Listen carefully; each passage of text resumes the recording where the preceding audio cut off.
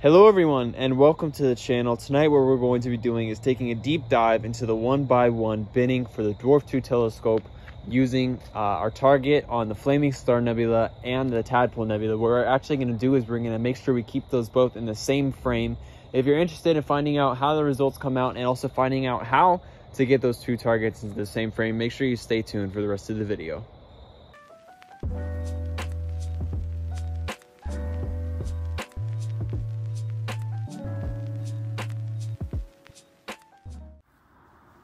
All right, once you're inside of your Dwarf 2 app, the first thing you're going to want to do is make sure that you calibrate your Dwarf 2. So to do that, uh, go to Astro mode, go to feature and press the calibration. Obviously, you're going to want to make sure your Dwarf 2 is polar aligned for this video. Otherwise, your Dwarf 2 will not be able to photograph both nebulas at the same time. Now, uh, what the calibration does is you need to make sure you have your Dwarf 2 first pointed at a part of the sky where there are no trees, clouds, or buildings in the way uh, that could obstruct the view of calibration.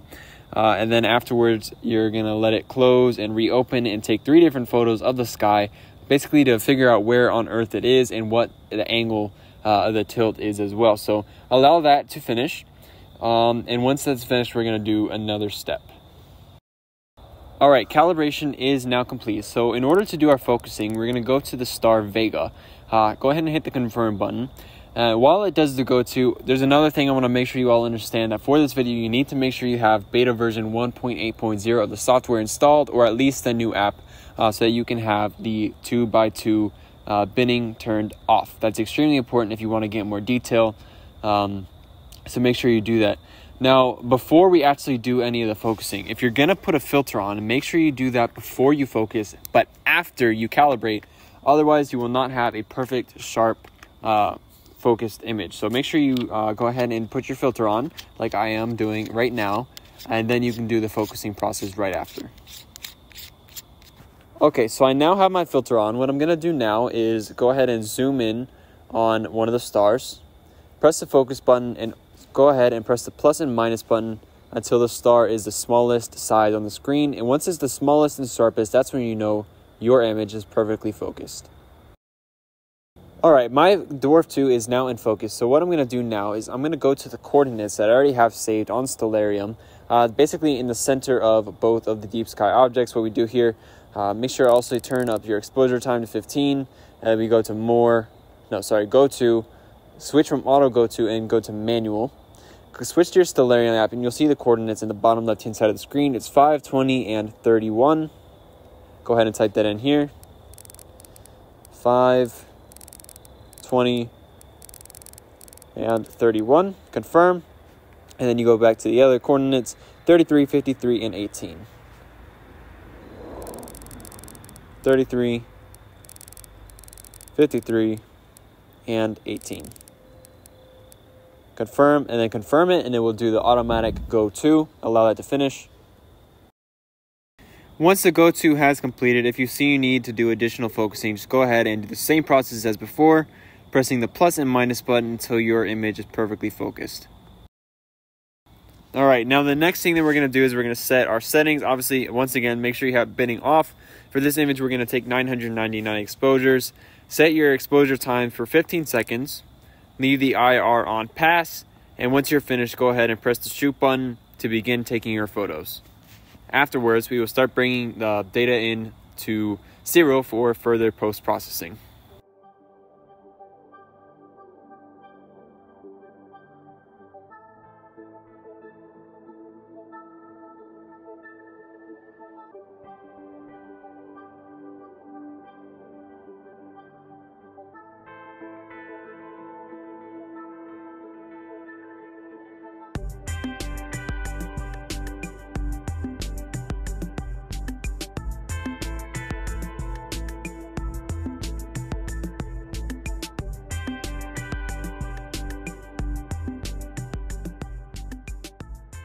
Alrighty, it is now time for us to really do some work on the Flaming Star Nebula. Uh, so let's go ahead and open up our result.fit file. This took about 12 and a half hours to actually be able to uh, to stack and process correctly in the Siril program because uh, using 4K resolution and 999 images ends up resulting in a lot of lost storage space. And honestly, it took quite a long time. As I said, 12.5 hours and used up about 108 gigabytes of storage space. So uh, I'm going to emphasize again, make sure if you're going to do this type of thing, you know, take astrophotography very seriously, make sure you get yourself a good laptop that has a lot of storage space in it and has a RAM that is fast enough to actually support uh, astrophotography imaging because otherwise you will be spent uh, stuck waiting a very long time in order for your stuff to actually stack and process correctly. So let's get started with the actual processing now.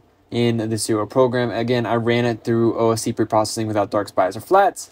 Uh, the Bayer I had on, let's see, Bayer setting. It is taking a minute to pop up, so I apologize for the wait. Okay, Bayer pattern GBRG for Dwarf 2 images. Of course, if you're not going to use a Dwarf 2, then just make sure you have it set on uh, select Bayer uh, pattern based on image header. Now let's go ahead and get started with the processing here. Obviously, switches to auto stretch. Uh, and as you can see, first off, we have a lot of this weird chromation uh, due to the ZWO dual band filter. Now you won't notice this on Dwarf 2 images that don't have uh, this uh, ZWO dual band filter on. Honestly, I'm not 100% sure uh, about why this happens with that filter, but honestly, it, it's in my opinion, it's okay. It doesn't look too bad, uh, and honestly, we can get rid of that a lot. So let's get started with the processing. Also, as you can see here, perhaps my dark images were not taken correctly because as you can see, there's a lot of that uh, green and red noise coloration, or maybe that's just the extra nebulosity kind of flowing through here. Uh, but let's really get started and check it out. As you can see, I accidentally still have my other Siril program open from when we were doing M45. Let me close out of that. Uh, let's go ahead and exit that real quick.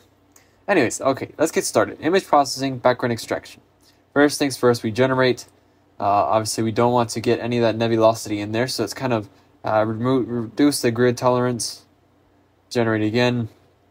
Uh, again, generate. There we go.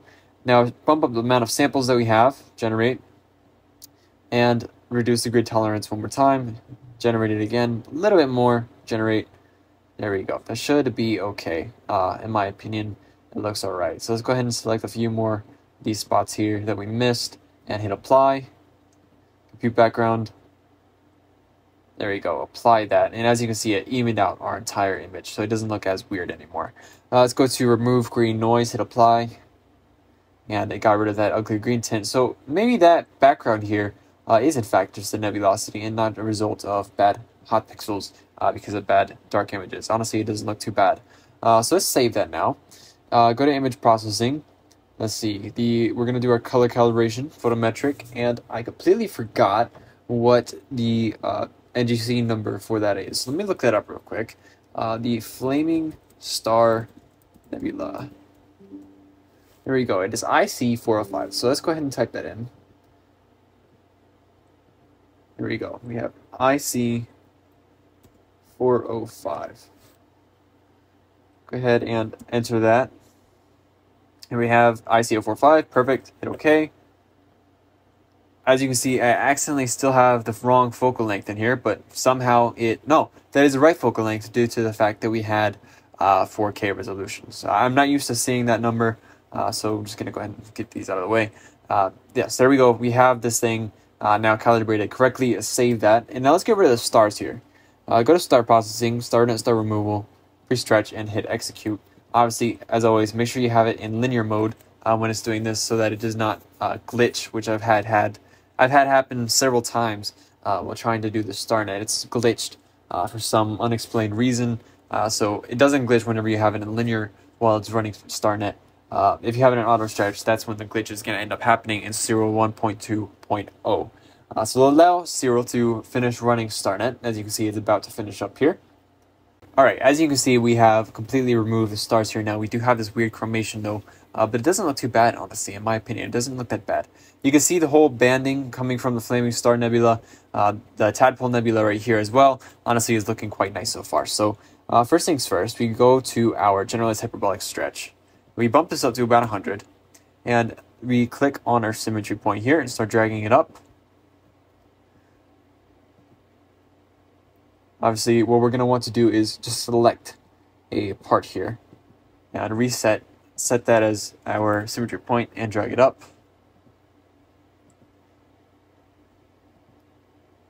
There we go. Now we, again, we don't want to clip the black point incorrectly. So we're going to close this, go to the histogram transformation, up this to 1, and drag up our black point without actually clipping any data. There we go, hit apply here. And we can drag it up just a bit more to get more darkness in here.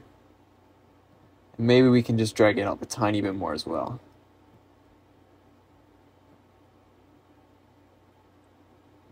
There we go. Hit apply, and maybe we can bring up the nebulosity a tiny bit more. There we go, apply, hit close. And now let's save this.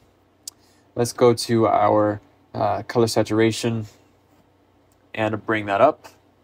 Obviously, we don't want to oversaturate our image, uh, so you have to be careful with that. Go ahead and lower that down a bit and do the color saturation one more time. Uh, again, not too much. Apply that and save it. Now, another thing that possibly you could do if you wanted to, uh, if you wanted to get that HOO look, uh, what you do here is color calibration. You select your background, use color uh, current selection, background neutralization, and then you select your nebula use current selection, and apply that. Now what that does is it kind of brings out the HOO type look, uh, which is not really what I want this time, uh, but that does work wonders sometimes if you ever want to do that. Uh, but go back here. I'm going to save this. Um, we're going to go ahead and bring our stars back in here. Actually, let's do a noise reduction first. Apply. Okay, as you can see, the noise reduction is now complete. Let's save that again, and now let's bring the stars back in here. So go to star processing, star recomposition, go to your starless result, open, star mask result, open, and start bringing the stars back in here. Alright, so here we have the Tadpole Nebula and the uh, the Flaming Star Nebula. So we apply that, and we hit close here, and here is our final image. Of course, uh, someone did mention to me that there is a way to get rid of this chromation from the ZWO uh, dual band filter, which I will be looking into uh, very soon. But honestly, for now, I think this is a very nice image. Dwarf 2 was able to do a very good job in regards to pulling both of these nebula out in just one image. Honestly, that's one thing that I absolutely love about Dwarf 2. Uh, the field of view, you know, the wide field of wide field of view astrophotography is absolutely awesome because it allows you to get so much more uh, just into this one uh, small image. Uh, it, obviously, it's a lot of detail as well, uh, very high resolution, you know, very good imaging function that honestly I'm always going to be impressed by what Dwarf 2 is able to do. Uh, also, Dwarf 2 is currently on sale due to the Black Friday sale that they have on their website, so make sure that you check out the link uh, in the description below if you're interested in purchasing one.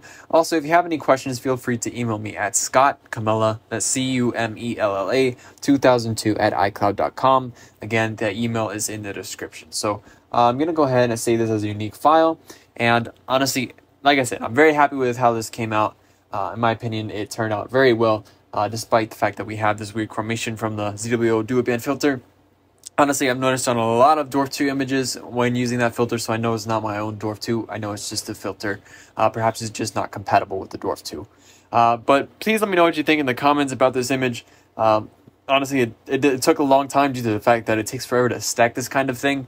Uh, but please leave a like and subscribe, and, um, and honestly, it does help support the channel. And please stay tuned for future content. And also, uh, one more thing. If you could recommend what type of content you would like to see in the future, I will definitely make sure I work on uh, creating that type of content for you all. So again, please like and subscribe and stay tuned for future content. I wish you all clear skies, everyone.